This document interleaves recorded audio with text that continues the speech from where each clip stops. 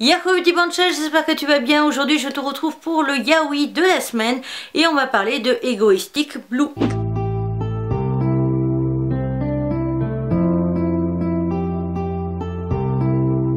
Donc juste au passage, ma voix, c'est tout simplement que le jour où je filme, on est et ce week-end, slash avec vendredi dernier, j'ai été complètement malade, mais à un point voilà, j'ai complètement perdu ma voix, donc c'est qui explique. Donc le yaoi Egoistic Blue est un manga des éditions Asuka. Nous sommes sur un manga qui est dans le genre romance étrange de vie. La série date, attention quand même, de 2011 au Japon et de décembre 2012 en France. Nous sommes sur un manga qui est H conseillé aux 14 ans et plus. Et le manga a été stoppé au niveau commercialisation. Moi je l'ai acheté sur mon Mox. Voilà. Et à savoir par contre que le mangaka c'est Mio Tenoji, un mangaka que je t'ai déjà présenté sur la chaîne car je t'ai présenté cette œuvre. Je te mettrai bien entendu les liens en i en barre d'infos. Et euh, l'auteur a deux autres œuvres disponibles en France que je vais t'afficher. Et je tiens à te dire que logiquement j'envisage de les lire. Ah, voilà. Donc il y aura la présentation. Alors peut-être pas cette année, je préfère te le dire au cas où, peut-être pas cette année, peut-être l'an prochain plutôt, mais peut-être pas cette année parce que le planning de cette année est déjà overbook. Oui, je sais, on est premier vendredi de mars, mais le planning est déjà fait. voilà, donc je te laisse avec la suite. On attaque avec mon avis sur les couvertures et je te dirais tout simplement que honnêtement été plutôt déçue dans l'ensemble. C'est un j'aime bien mais sans plus, ça ne va pas aller plus loin, ça ne casse pas trois pattes à un canard comme on dirait. Donc voilà. Donc en ce qui concerne l'illustration à l'avant, euh, qu'est-ce que qu'il y a en fait euh, à mettre en avant? On a un bouquet de fleurs, donc euh, ouais, ça représente un petit peu l'amour. On voit qu'ils sont dans un hôtel parce qu'on voit une vue même sur un port, parce qu'on aperçoit des bateaux tout au long, ou alors c'est d'autres bâtiments, mais je pense plus que c'est des bateaux. On va voir tout simplement le gars riche et célèbre et tout ça qui euh, donc est face à nous. Donc on nous montre aussi que c'est lui riche, est célèbre et en même temps c'est un, un, beau gosse. Donc là il est bien bâti et tout le tralala avec un côté assez séducteur, ses yeux bleus, donc pour le côté égoïstique blue, hein, c'est parce que tout simplement il a les yeux bleus. Donc là je trouvais ça plutôt pas mal la référence. Les roses aussi un petit peu le côté séducteur vu que c'est vraiment un mec qui séduit, un, un, gars qui va vraiment séduire plutôt pas mal, assez facilement les femmes. Donc voilà, rien de particulier. Donc franchement, honnêtement, moi personnellement, la partie en fond, donc le bouquet de roses et euh, le côté photo de fenêtre de chambre, je l'aurais pas pris J'aurais juste laissé le côté lit, etc. La position des personnages, l'écriture d'ailleurs du titre qui est sublime, avec le petit euh, logo là, avec la clé et le, porte-clés en forme de cœur que je trouve plutôt mignon. Mais le fond, j'aime pas spécialement honnêtement. Pour ce qui est de l'arrière, par contre, j'aime bien parce que elle est plutôt simple et efficace, l'image. est très jolie. Sauf que moi, il y a un truc qui me perturbe. C'est si tu regardes l'avant, tu vois que le, celui aux cheveux châtains a les yeux marrons et l'autre côté les yeux bleus. Il me semble par contre qu'il dit justement déjà qu'il se teint les cheveux. Donc peut-être qu'il porte aussi des lentilles. Je suis pas trop sûre dans le manga. On a tout simplement le résumé, un petit info comme quoi on a un, chapitre bonus et tout simplement un, un petit mot d'avertissement nous disant que c'est un yaoi en gros. Voilà. Qu'on ouvre le manga, pour ce qui est de qu'on enlève la jaquette, je ne vais pas te le montrer tout simplement parce que c'est une version noire et blanche. On a deux sublimes pages en couleur, bien que en fait, la première, elle est sympa parce qu'on ne l'avait pas, même si euh, je suis pas fan du fond non plus. Et celle à l'arrière, enfin la deuxième page en couleur, c'est celle qu'on avait à l'arrière de, la, jaquette. Donc c'est plutôt pas mal parce que ça permet de vraiment voir l'illustration en entier. Ça a été flouté et voilà, on voyait moins bien. Après, on se retrouve sur la page en noir et blanc, donc l'image qu'on avait.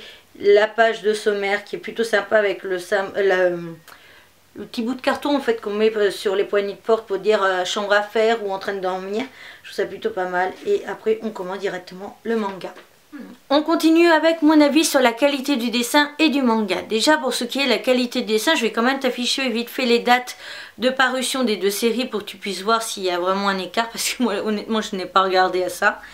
Mais euh, déjà, ça te permettra de savoir. Moi, personnellement, je trouve que l'on reconnaît très facilement que c'est Mio Tenoji, sa Tenoji, qui avait écrit l'autre œuvre. Quand j'ai revu, en fait, quand j'ai commencé à lire le manga, je me suis rappelé de que c'était pour ça que j'avais acheté. Parce qu'honnêtement, je vais te raconter un tout petit truc. C'est juste que quand je l'ai acheté, je savais pourquoi j'ai acheté sur Momox.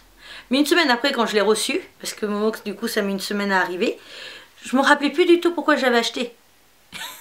C'est ça le problème. Et quand je t'ai fait le haul d'ailleurs du mois de février, je que je t'ai dit que je ne savais plus pourquoi je l'avais acheté. Et c'est sur le moment quand j'ai lu, j'étais ah, mais la qualité des seins me fait penser à quelqu'un que j'ai lu il n'y a pas longtemps. Je regarde sur mon téléphone, parce que forcément j'étais en train de lire, j'étais pas avec l'ordinateur. Ah bah d'accord, je comprends mieux. Voilà, donc c'était le même auteur, donc forcément je savais pourquoi je l'avais acheté. Non parce qu'en fait il faut savoir que sur Momox, quand je rajoute des trucs des fois dans le panier, surtout que là il y avait une promotion de moins 14%, donc quand il y a une promo en plus, je regarde pour glisser des fois des trucs en plus. Et je vais souvent regarder par exemple dans les titres qui m'intéressent, donc je me suis mis dans les dans mes favoris ou mes envies, enfin un truc comme ça de Momox, souvent je vais regarder quand même dans les titres. Yaoi qui m'intéressent, qui coûtent cher, hein, euh, qui sont un peu plus qu'un prix d'un manga basique, euh, je regarde toujours s'il n'y a pas un ou deux yaoi qui m'intéressent comme ça, qui coûtent cher, que je peux glisser dans mon panier. Et euh, voilà, donc je me suis dit c'était peut-être pour ça que je l'avais rajouté, mais non, en fait c'était bien parce que c'était un auteur que je connaissais. Bref, toujours est-il en ce qui concerne mon avis sur le manga. Alors certes, si on regarde le résumé, on va être quand même sur quelque chose euh, d'assez facile, c'est-à-dire le gars riche, euh, célèbre et tout, qui se pointe dans un hôtel et qui va avoir une relation charnelle avec l'un des employés de l'hôtel. Et euh, voire même qui demande une personne en particulier pour s'occuper de lui. Ça c'est quelque chose qu'on a déjà vu. D'ailleurs je t'en ai déjà présenté un manga dans ce genre-là, qui était un Josei, et je t'ai présenté ça par contre je crois quand même il y a un an. Hein. Donc ça date un petit peu, mais je n'ai pas présenté 36 000 José, donc si tu vas voir la playlist José, tu le retrouveras très facilement. D'ailleurs, je te mettrai le nom en barre d'infos, parce que je vois très bien lequel c'est. Donc voilà, en ce qui concerne l'idée de base, je trouvais ça un peu facile, mais étant donné que j'avais envie de lire cette œuvre quand même, parce que c'était une œuvre du même mangaka que Open Mankasa Osode que j'avais surkiffé, je me suis dit, pourquoi pas? Tentons euh, l'expérience et tentons la lecture tout simplement. Mais ce que j'ai pas mal apprécié en fait c'était l'originalité, le petit original. En fait, c'était tout simplement que notre protagoniste, donc celui-ci, cherchait en fait, euh, par rapport à une histoire d'héritage, une femme, et qu'en fait, il tombe sur pas de chance, il tombe sur un mec. Donc déjà, il envisageait, et on découvre après ce qu'il envisageait de, comment il envisageait de réagir si ça avait été une femme, et on découvre donc pourquoi euh, il a réagi différemment, parce que c'était un homme, etc. Donc je trouve ça très intéressant, et c'est plutôt pas mal, parce que justement, le gars, le petit coup de, il était persuadé de tomber sur une nana, mais, ah ben merde, c'est un homme. Ah, c'est un peu comme moi quand mes parents disent mon prénom, et qu'après ils se rendent compte qu'en fait je suis bien un garçon. Oui, parce qu'en France, hein, je mets bien entre guillemets, mais les prénoms qui finissent avec un i, c'est plus un prénom féminin.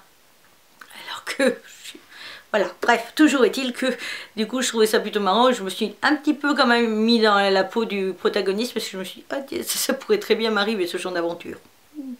Donc voilà, en ce qui concerne le manga par contre, je t'avouerai que côté scénario, euh, il est pas oufissime, enfin surtout au niveau du travail de l'œuvre, tout simplement parce qu'on va être quand même sur un rythme assez rapide, il se passe pas beaucoup de choses finalement, on développe pas des masses parce qu'il y a un chapitre assez bonus qui prend quand même pas mal de pages, je vais te mettre quand même la, fiche, enfin la page de sommaire pour que tu puisses voir.